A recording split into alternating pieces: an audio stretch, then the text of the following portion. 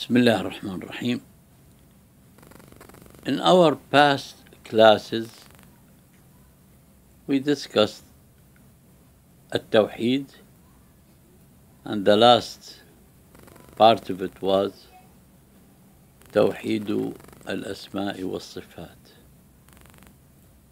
Okay. Last time, we were focusing on the prophethood and how the prophethood plays the role of satellite as nowadays we get satellite we get information from satellite. So our satellite in acquiring all the teachings of deen is the prophet sallallahu alaihi wasallam because Muhammad sallallahu alaihi wasallam was the last messenger and the last prophet so he was he was having this role. Jibreel comes to him. And Jibreel carries out the message from Allah directly. And then comes to Muhammad and delivers him the message directly. And Muhammad is the person a human being who carries out the message to people directly and we explained that people used to depend on their memories in everything of revelation. They didn't depend in anything of writing. Uh, it is, on the contrary, the society of Mecca or the people of Mecca, the, the, in general, were not reading or writing, they were illiterate and Allah subhanahu wa ta'ala praises Muhammad sallallahu alaihi wasallam saying هو الذي بعث في الأميين رسولا منهم in Surah Al-Jumu'ah Allah is the one who sent or commissioned a messenger of them and describes them being illiterate. So then we explained last time, I think, that the companions or the people who were around Muhammad the messenger, used to receive and assimilate everything of what they have of Quran. They memorize and they were very sharp minded to memorize anything of uh, Quran and hearing it once. And I think I explained that explicitly. And uh, the Ummah depended in not on not recording everything and writing. There were certain people assigned to be the writers for Quran. They called them Kuttabul Wahi, the clerks or the writers of what is of revelation. Al Wahi means what is inspired or revealed from Allah subhanahu wa ta'ala through Jibreel to Muhammad sallallahu alayhi wasallam. And they used to write these things, and everything of what they wrote was preserved and uh, left to, to Hafsa, the wife of the Prophet ﷺ, daughter of Umar. And we explained that the Quran, the first time started uh, to be reviewed in what is in writing, not to review the ayah or no, just something of like you are in a house, you want to put the chairs in a way. This is the review. It was not to review anything to see if there is a, a word dropped or a dot added. Of course, there were no dots at that moment. And the first time we see that the Quran, when was in the process of revelation, Allah subhanahu wa ta'ala makes it revealed 13 years in Mecca, 10 years in Al Medina. And Allah subhanahu wa ta'ala has a hikmah that the Quran was not sent in one shot, it was revealed in those 23 years. And uh, the hikmah of what we understand by that is that the Quran should be assimilated and uh, and uh, applied and in order to do to do that to make it applica- applicable and demonstrated by the society where the Quran revealed in it gave it time 23 years. And uh, the mushrikeen used to say this why don't we have the Quran in one shot? You see of course they were not serious and they wanted to create certain certain uh, objections against Islam or against the Prophet or against the Quran, whatever you want to say. Anyhow, as I explained, the Quran was the, the, the, the prime revelation. And when the Prophet ﷺ died, the first time I said the review of the Quran was taking place during the office of Abu Bakr. And Umar ibn al-Khattab is the one who proposed to take care of having something in writing of the Quran. And uh, this is how Abu Bakr was convinced to do that project. And they uh, organized certain people to be uh, in, in charge of that project. And one of them is Zayd ibn Thabit, as he is a good scholar and uh, a very well knowledgeable person of the Quran and memorization.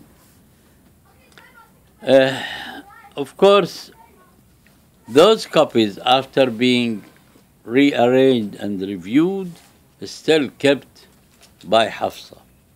During the office of Uthman radiallahu ta'ala anhu, and the Muslim state is expanding, the expansion of lot of countries, uh, Islam encroached to those countries, like what happened in Al Kufa, what happened in, in, in Al Basra, what all these are new locations that joined the, the, the uh, map of the Muslim world.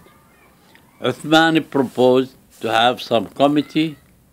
That committee is of the best scholars among the companions of the Prophet who are very knowledgeable in, of course, in Arabic language as a language, and in the Quran as it is revealed and how it is arranged.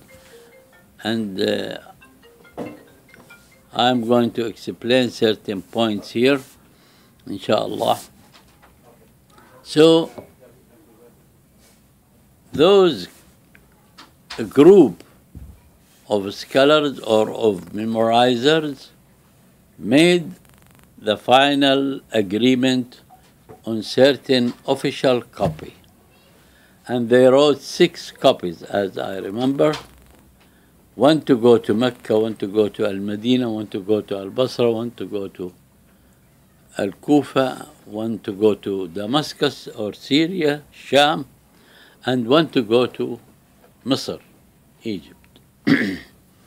so those six copies were distributed, and Uthman made an ordinance that this is the only copy of the Quran that will be referred to and, and kept uh, as the only version of the Quran Muslims would refer to. And of course, it it was in compliance with different recitations of the Quran, because you see an ayah or a word or whatsoever has some certain uh, recitation, and the recitations were to make it easy for different tribes and clans of Arabs to match with those different recitations because one of the recitations will match with their own dialect or language.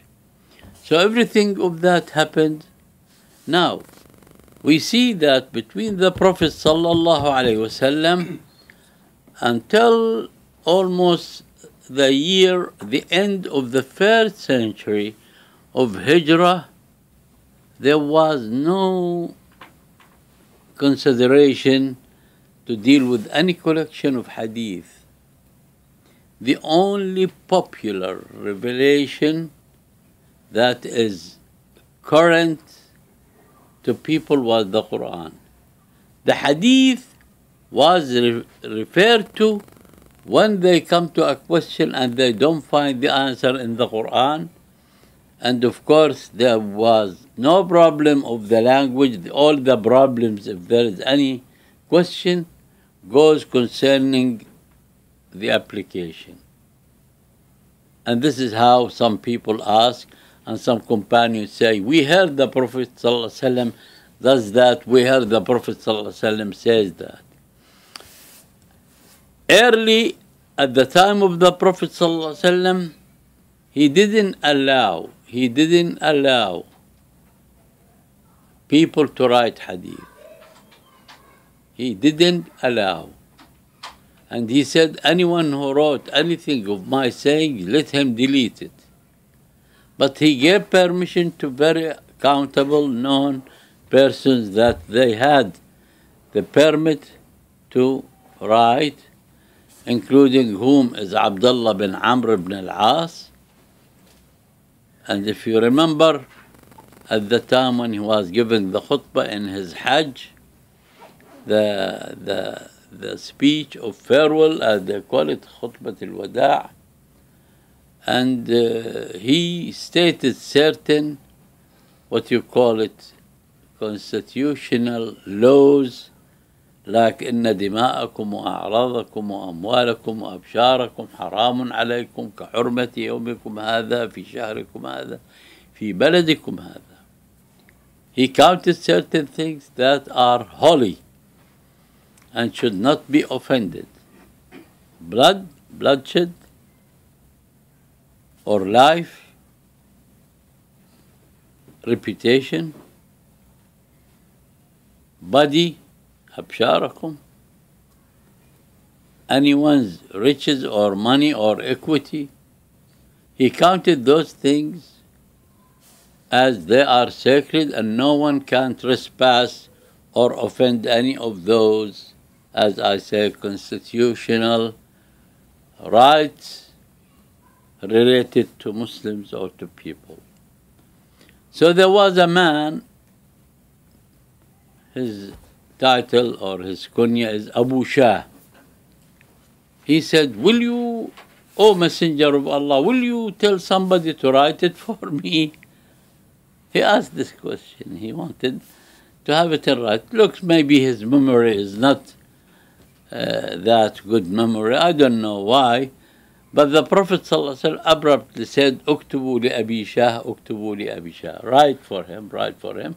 And I think some people volunteered to write him what the Prophet ﷺ said in his speech.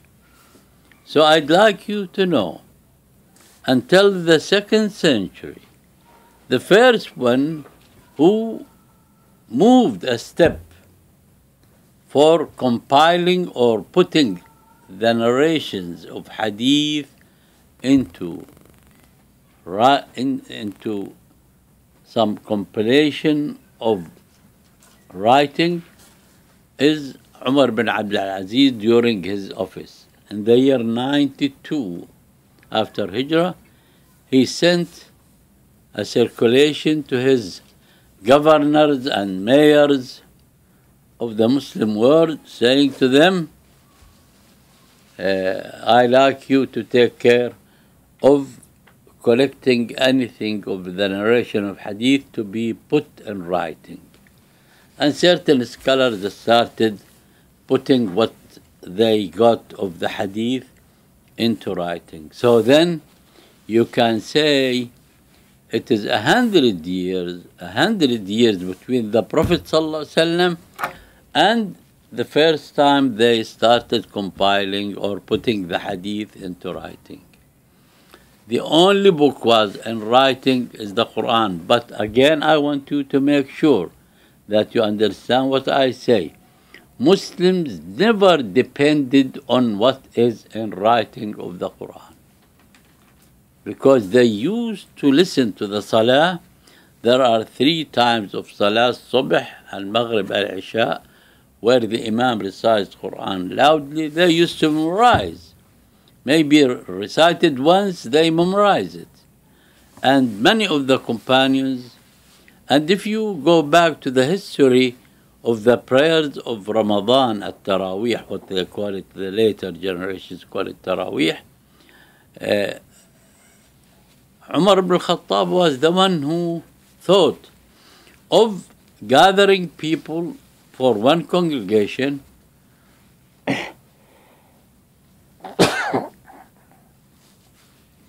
He proposed that there should be an imam who could read for the congregation and because he is a good memorizer and a good reader then people are going to focus on the righteous and the, uh, the accurate uh, phonetics and the style of recitation of the Quran. And this is why Umar ordered the, the, the best one according to them in memorizing and reading Quran, Ubay ibn Ka'b. And Umar ibn Khattab himself didn't join the Salah with the Imam because he was, according to him, he was very concerned about following the Prophet's method or uh, way that the Prophet ﷺ stopped the congregation after three days. He did it, then he stopped doing it in congregation. Then Umar followed that, uh, that approach or that methodology. He used to make salah at home, but let Muslims gather to follow Salat Ramadan in the masjid. So then the Quran was publicized and learned and memorized, but nothing in writing. Nor was the hadith in writing. And the hadith came as the, the second step in what we have of compiling and collecting of the narrations of the Prophet sallallahu alaihi wasallam. And then we have the second century, what is after 100. In the second century, we see that there are certain scholars who focused more than before on on mentioning and, and reading and writing uh, some of the hadith, including whom is uh, the followers of the companions at Tabi'een, and here started the school of Al Hadith, but still it was not taking uh, that fame or that uh, something of a glorious image. Every everything of focus was on the Quran until the the the end of the second century. In the second century, since Umar ibn Abdul Aziz made that uh, ordinance of writing hadith, we have some scholars who started writing officially or unofficially. Then the second century, we see the story of Ahmad ibn Hanbal and certain criteria of uh, certain alien thoughts emerged in the Muslim Ummah and the first movement, which is alien, emerged is the phenomenon of Al Khawarij. During, in the mid of the first century, Ali bin Abi Talib was assassinated in, in 40 after Hijrah, in the year 40 after Hijrah. And uh, since after Ali ibn Abi Talib, the Khalifa, the fourth Khalifa, we see that there are sectarian images seen here and there in the Muslim world.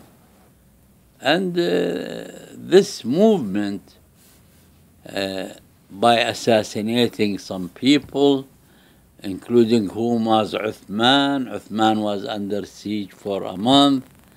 There are a lot of disturbances took place. Then you remember during Ali bin Abi Talib office, there were many of the companions who were assassinated or killed in the battle of Al Jamal. And you remember that Talha bin Ubaidillah, Zubair ibn al-Awwam, the two companions of the Prophet ﷺ were killed in Al Jamal. And no one pays attention for their for being killed or something like that. As if nothing, as if something easy that could happen in sighting Talha thrown uh, and his beard is that with dust is covered with dust. And the same thing happened to Az-Zubair ibn Awam so all these fitan all these inconveniences took place at that time. Then after before Ali is assassinated we know the story of Siffin and the dispute between Muawiyah and Ali before that, we remember Al Hassan was elected or was chosen to be the Khalifa, and he gave up the Khalifa to the son of Muawiyah. All these uh, uh, brief uh, reports to enlighten you as we are on the road to go on. So, again, I go to Al Hadith Al-Hadith, even though was growing slowly during Malik, during, of course, Al-Shafi'i, you know, Al-Shafi'i is not a great scholar of Hadith, nor is Abu Hanifa. I mean, I don't know what to say. You know, I am, I know I am responsible for every word. In reality, Malik, Malik was one of the great scholars of hadith. And but I don't see, I don't see, and I am responsible for what I say now.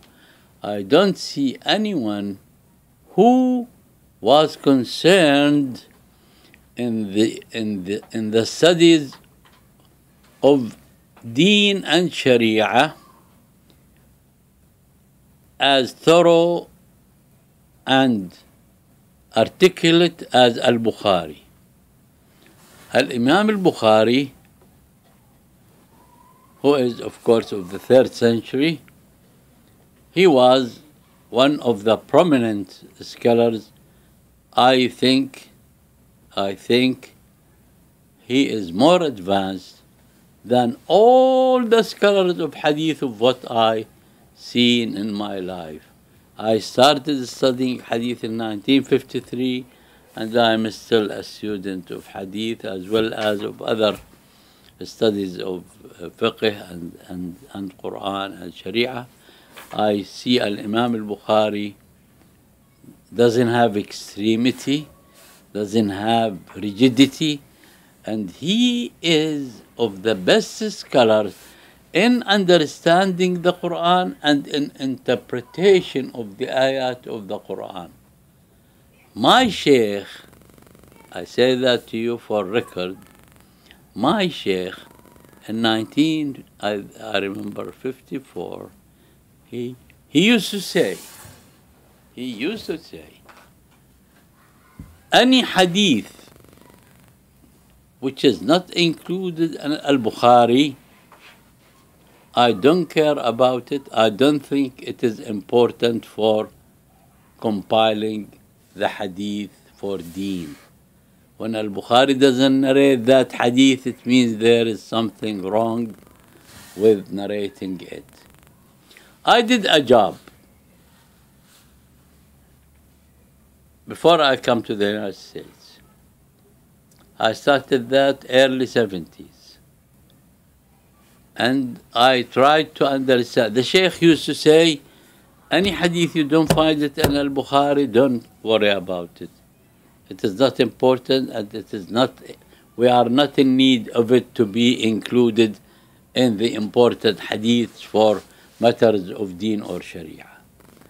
I didn't accept the Sheikh saying that. I was, you know, I was like Salafi who is uh, very literal Salafi. For example, I used to, in 1957, 58, I used to give strange fatwa. Like I used to say, the government are kuffar. I was in Iraq, I used to say, the government are kuffar. And anything of the money of the government is halal for any Muslim. And some people would go would go and take the bus and they don't pay for the ticket. And some of them were held in violation that they are not having tickets and then they make dua that Allah subhanahu wa ta'ala should punish me or whatsoever of that. Anyhow, I want to say to you this kind of ideology grew up in myself and it was as a matter of, of ideology uh, I, I maybe could have the thoughts of these guys who kill, who uh, stone this or uh, cut the head of that, etc., etc. I could see the legitimacy of what they are doing.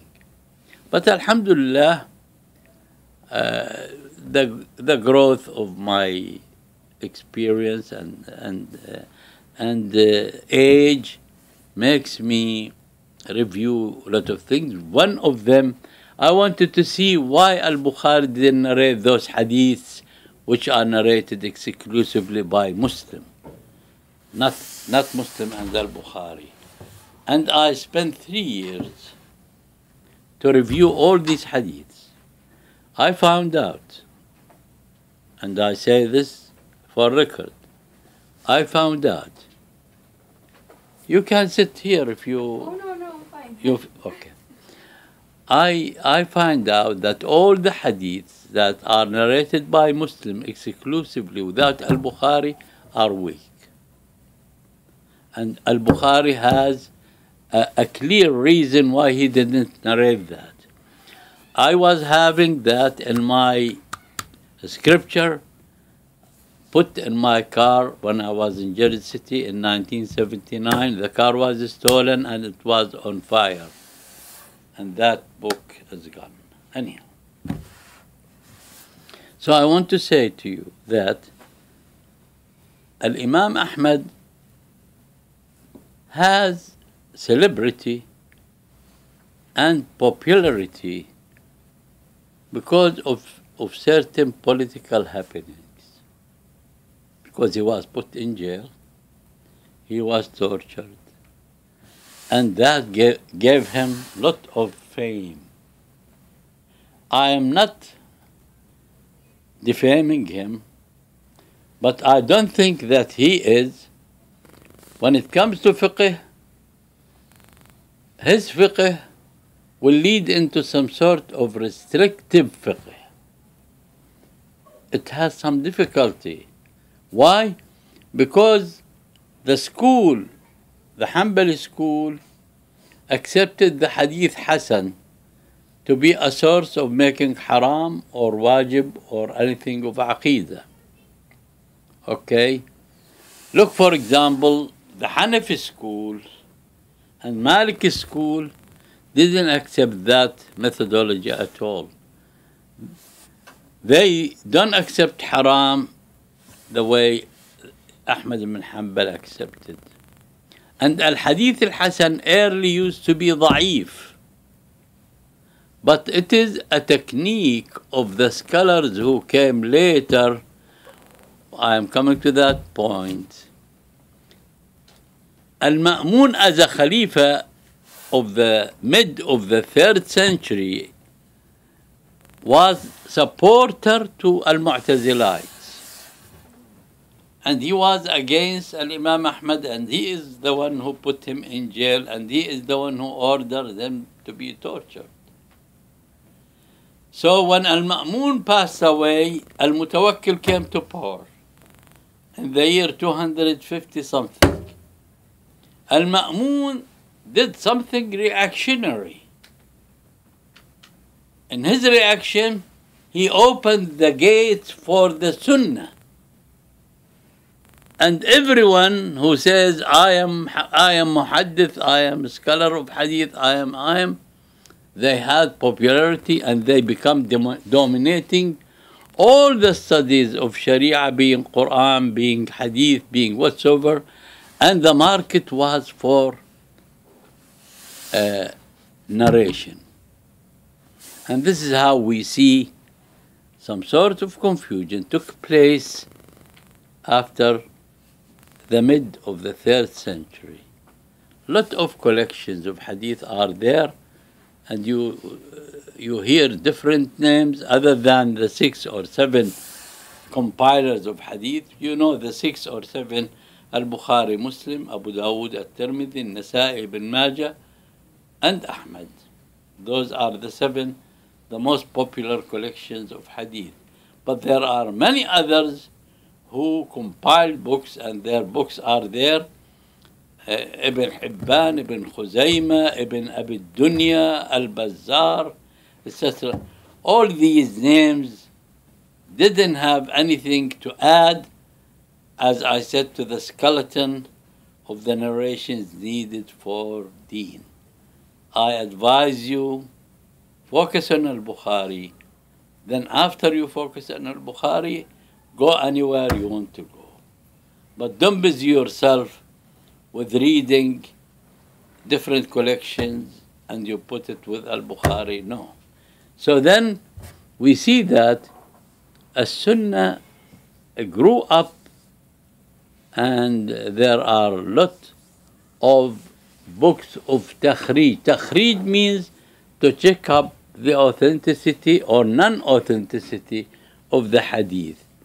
And were uh, very well-known scholars who did good jobs, like Al-Iraqi, who, who reviewed Al-Ghazali's book Ihya Ulum al-Din, and he corrected, explaining if the hadith is authentic or not. And his student Ibn Hajar al-Asqalani was excellent in his books of takhrij. Takhrij means to clarify authenticity, authenticity and non-authenticity. In his book Talkhis al-Habir and other books, there are different books for that purpose. But I say later on in the 20th century, uh, Al Albani came and took, took certain role. Al Albani is a mutasahil. Mutasahil means easygoing. And in 1956, when I met him the first time in summer of 1956, I understood, I met him twice, I understood that he is not highly qualified in the sciences of Arabic language. He is originally Albanian, but he was he speaks Arabic fluently. But I mean the classic language of the Quran and of the Hadith. He was not advanced in that field. When I asked some scholars of the University of Damascus, one of them, Rahimahullah Ahmad Ratib al-Naffakh, he was of the he was one of the great scholars of Arabic sciences. He said to me, Allah knows, and I am saying that Al Albani is not familiar with the Arabic language, so many of his statements in fiqh and in his studies of Arabic language are not, he is not reliable in any of them, in many of them, I'm sorry. And I see the takhrijat to say this is sahih or non-sahih, it has something of mess. It has something of mess, and that led him to found to find certain kanuns in saying haram or wajib or etc. because other scholars before him said this hadith is da'if, and he comes he says sahih. Then you are going to create some new criterion for that issue. Uh, of course, I, I, what I noticed in my study as I am dealing with this topic, the Quran is not served very well. I looked at all the books that dealt with Ahkam al Quran, the laws of Sharia and Deen in the Quran. I don't see the books available and accessible to our hands did a good job and it is enough for our generation or next generation to be uh, for textbooks or to be uh, reliable for the purpose I talk about. So the Quran didn't have the service. And the hadith depended on depended on uh, a quantitative, a qualitative, uh, quantitative work, but not qualitative work. And I want to give you some time for questions. I want to conclude saying that uh, the most important study of narrations or a riwayah, a riwayah means narration, and it includes al hadith, includes As-Sira includes certain aspects uh, focused on subjectivity in writing the biographies of scholars. And because of that biography, scholars come and judge if this narrator is of authentic narration or not. Unfortunately, the biography is subjective, not objective, and I can show you many examples for that. Now I'm going to stop at this point because I want to give you some eight, nine minutes for your questions. My question is almost uh, similar to my brother's. I mean, we are following as uh, students um, all those shuyukh or ulama who have approved and who are, you know, following the thoughts or teachings of these big scholars. Uh, like the brother mentioned, Al-Albani. I mean, what is the base for us in order to say? In brief, the differences between Al-Albani and the preceding scholars who dealt with reporting authenticity and non-authenticity of hadiths, there is a big gap. And the big gap could seen when you are a student following up I am talking as a person who followed up from 53 until this moment. I have no business other than study and read and review things. So my conclusion, my conclusion is an opinion. Are you with me? I didn't say it is deen. I didn't say it is Quran. I didn't say it is hadith. It's an opinion. I am a teacher. I should expose what I have found out in my research and in my study, I offered that and exposed everything of that. Uh, you mentioned that the Ma'mun back up the Mu'tazila. Uh, what, what, how, how they were different than the rest? Oh. Al-Mu'tazila, Al-Mu'tazilite, Al-Mu'tazila then, they used to say the Quran is makhluq.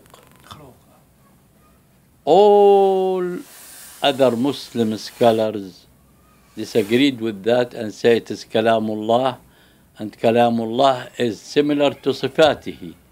And Sifatullah cannot be created, cannot be creatures. It is apart of his entity. You cannot separate the speech of Allah from Allah Himself. So Allah Himself, ليس كمثله شيء. You cannot say anything of Allah's sifat or or nouns could be a creature. That was the main point. There the are a lot of details. Huh? The rest, they were just regular Sunni Muslims. Yeah, they are Muslims, of course. The Imam al-Zamakhshari is Hanafi, Kashaf, yeah. is a follower of the Hanafi school. Anyhow, uh, I I am very happy that Allah gave me time and age to to discuss this. I know I it's a, a shot, but I tried not to overdose it. But the best challenge to me or to anybody is to go and read and find out something. You come to me and say, Sheikh, I read something. Yes. قل هاتوا برهانكم إن كنتم صادقين. May Allah bless you and we should go to Salah. Thank you.